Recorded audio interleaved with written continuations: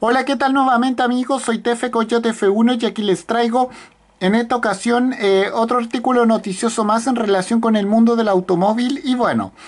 ahora les voy a hablar de, bueno, este Fiat Multipla que está convertido en un envase Nutella y bueno, como dice aquí el título, saborea el NFT más dulce. Bueno, Garage Italia Custom, eh, compañía creada por el polémico Lapo Elkan, para personalizar todo tipo de automóviles se adentra en el universo de los NFT para mezclar tecnología, arte y coche. Y bueno, sin más que decir, vamos a hablar un poco de aquello. Bueno,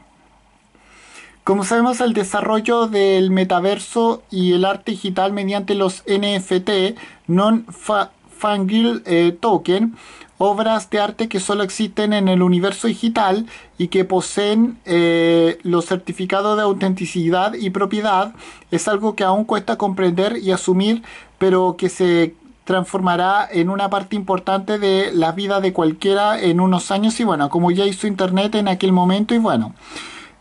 Eh, parece que ningún sector empresarial quiere perderse eh, entrar a este mundo y el mundo automotriz no se queda atrás, el mundo del coche tampoco se queda atrás. Y bueno, marcas automotrices como Mercedes-Benz o Lamborghini ya realizaron sus propios NFT en colaboración con los nuevos artistas de este medio y bueno, eh, pero ahora Garage eh, Italia Custom se asoció con Ninfa,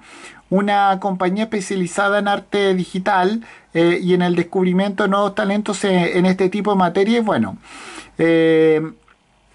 el objetivo principal de esta colaboración, según declaran desde eh, Garage Italia, es dar a conocer el arte digital de los fanáticos del coche, pero también acercar a todos los expertos en tecnología de generación Z al universo de la automoción. Y bueno, como sabemos, la idea es crear y desarrollar un espacio virtual dedicado al arte y el coche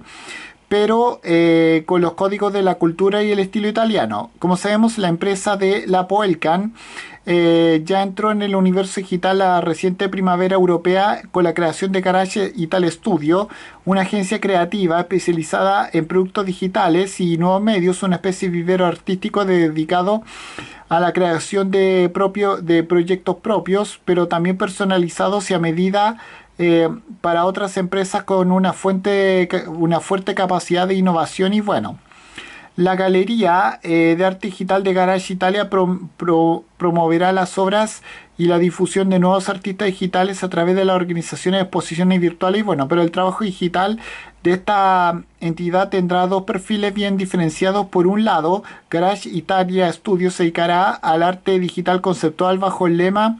Out. Eh, of the Blue, mientras que Garage eh,